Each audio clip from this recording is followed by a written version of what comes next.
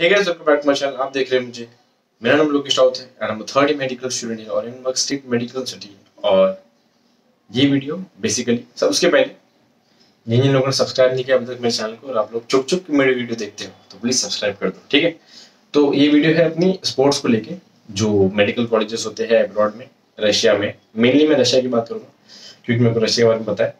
वहाँ पे स्पोर्ट्स की क्लासेस कैसे होते हैं कौन से कौन से स्पोर्ट्स खेले जाते हैं? आउटडोर स्पोर्ट्स होते हैं इंडोर स्पोर्ट्स होते हैं, ठीक है? तो सबसे पहले अपन क्लियर देते हैं कि मैं ओरेनबर्ग स्टेट मेडिकल यूनिवर्सिटी में पढ़ता हूँ। जनरली वहाँ पे जो स्पोर्ट्स का है, उसको बोलते हैं फ़िज़िकल एजुकेशन का क्लास ठीक है? फ़िज़िकल कुलतुरा बोलते हैं।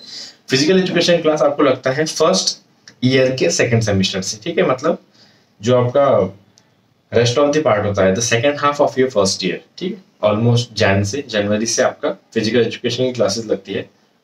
वो उसके लिए अलग स्पोर्ट्स कॉम्प्लेक्स है ओरेनबर्ग यूनिवर्सिटी का, ठीक?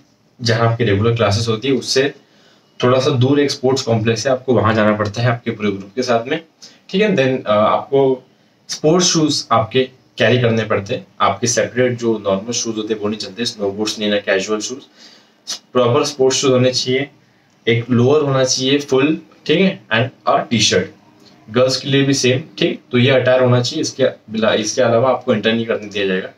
तो ये स्पोर्ट्स का अटायर होता है, उसके बाद में वहाँ पे जो टीचर्स होती है, जो फ़िज़िकल एजुकेशन की जो टीचर्स होती है दे आर मोस्टली सभी रशियंस होते हैं और उनमें से किसी को इंग्लिश नहीं आती, ठीक है? कोई एक हो सकती है जिसको थोड़ी थोड़ी इंग्लिश आती हो, लेकिन उनमें से किसी को इंग्लिश नहीं आती।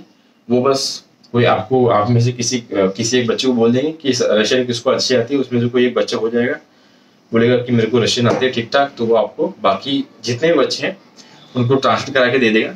और एक साथ एक ही ग्रुप का नहीं होता ऑलमोस्ट पाँच ग्रुप का एक साथ फ़िज़िकल एजुकेशन का क्लास होता है, ठीक है? मतलब लगभग समझ लो, सत्तर से अस्सी बच्चे एक साथ फ़िज़िकल एजुकेशन का क्लास करते हैं।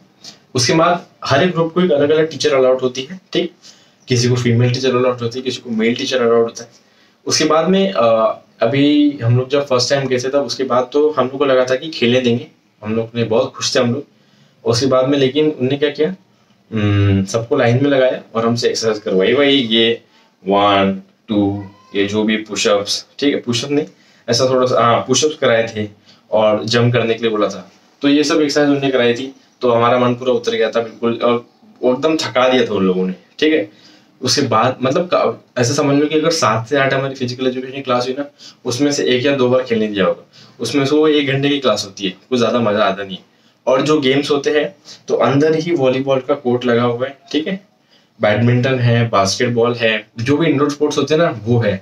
वो एक, वो है पिंक जो टेबल टेनिस है, और, ये है। जो पंचिंग बैग नहीं है, वो सब वहाँ वो है स्पोर्ट्स कॉम्प्लेक्स में। और स्पोर्ट्स कॉम्प्लेक्स में ही ओरेनबर्ग में जिम है। जिम तो आपको फ़िलहाल यूज़ नहीं जिम जिम तो हम लोग को यूज़ नहीं करने दिया था।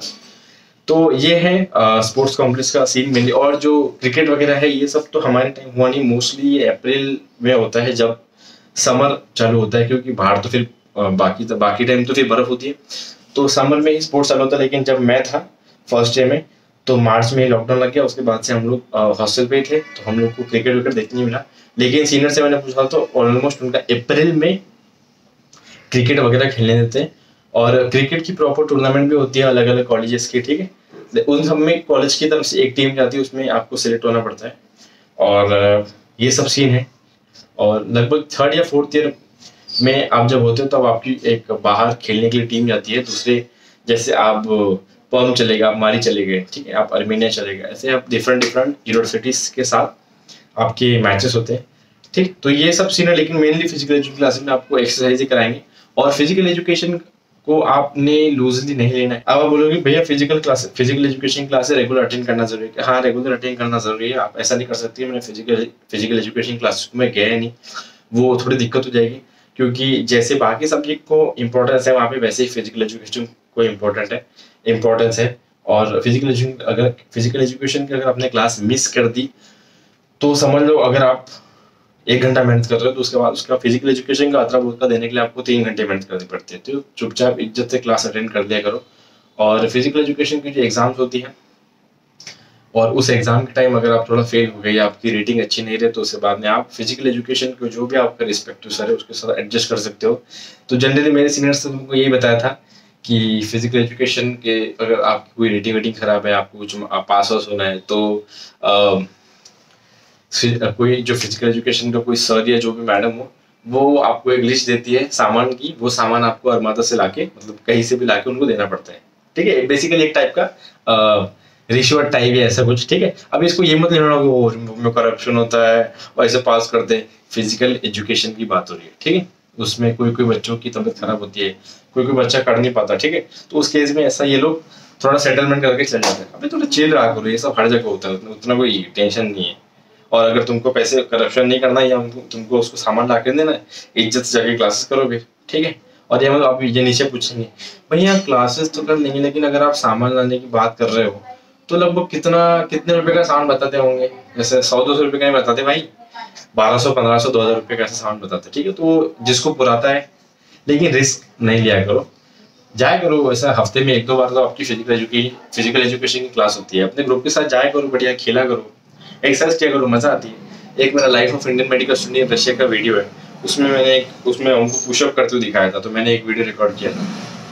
तो ये सब मस्ती वाले दिन है, ठीक है? इसको ऐसा हॉस्टल में बैठ के वेस्ट मत करो। क्लासेस मिस करनी है तो फिर मीन वाली करो, जो पढ़ाई वाली होती है जिससे बोर होता है।